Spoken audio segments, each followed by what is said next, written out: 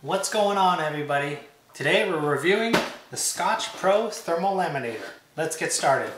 If you're new to my channel, it's Mr. Hanna here. I'm a third grade teacher in Southern California.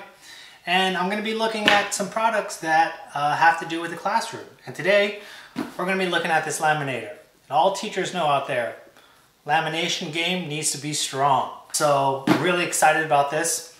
Um, it's a really cool tool to have. Um, because I can just laminate on my own, usually when I'm already home and don't have to use the time at school to be doing it, uh, something to be doing in the background. So I'm excited um, to get it open and see how it works. So let's get going. So I got this on Amazon and it came with the uh, thermal laminating pouches, 200 pack. I believe altogether it was $30, $50? Not quite sure. I'll put the link down below. All right, so let's get this bad boy open. So it comes here, of course, with user manual. Never read those. Uh, oh, came with a couple laminating sheets already.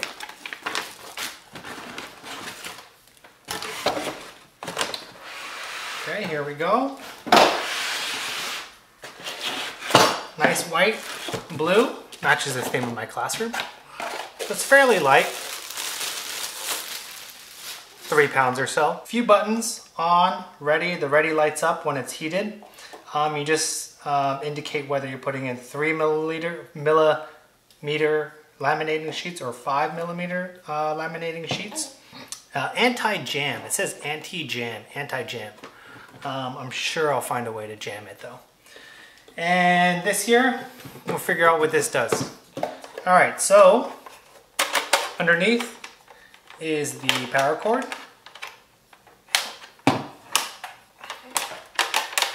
We'll get that going and I'll go ahead and plug it in. So what we will do is we'll get ready for, uh, we're gonna wait for this to light up as ready, uh, green light on ready. I'll use the laminating sheet that came with it. So check out your laminating sheets. Um, the one that came with this is the three millimeter uh, size laminating sheets. I like these for posters. Um, the three or the five millimeter ones are really good and thick, especially if you have students holding it. But this one, I'm gonna be laminating some displays, so kids won't be touching it too much. I've been making some labels for my classroom and um, we're gonna feed these through, see how they come out. So while this is getting ready, I'm gonna take one sheet, I'll move this out of the way. Take a sheet here.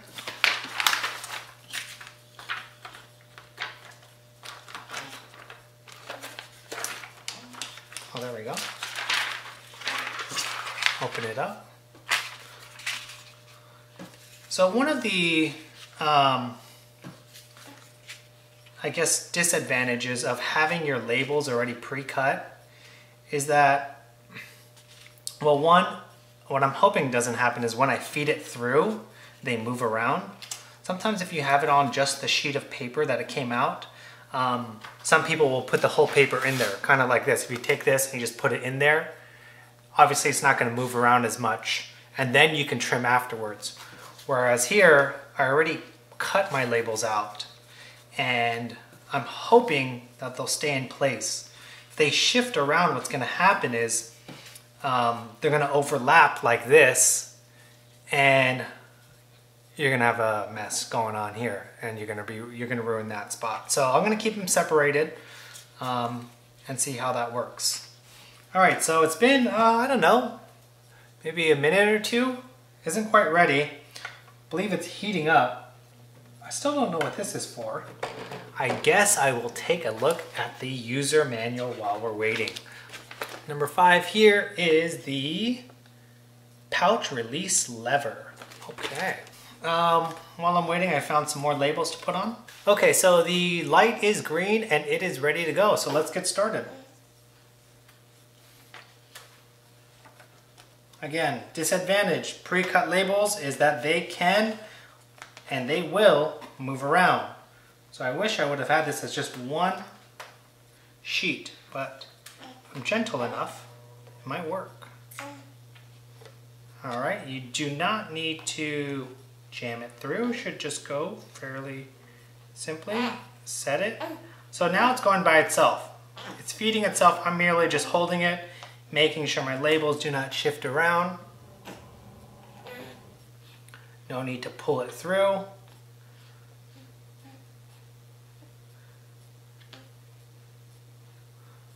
So far, so good. Labels moved around as I was moving it up, but once it's in, it's, it's set.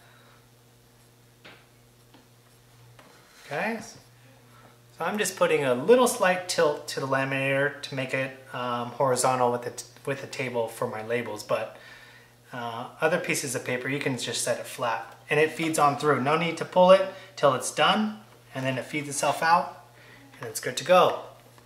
And there you have it. Uh, everything came out great. I'm very pleased with how the uh, labels came out. I'm pleased with the thickness. Overall, uh, great product. Looking forward to using it more. And as soon as all my labels are laminated, I will uh, put out a video of them on the actual organizers and around the room. Don't forget to hit the like button and subscribe and see you later.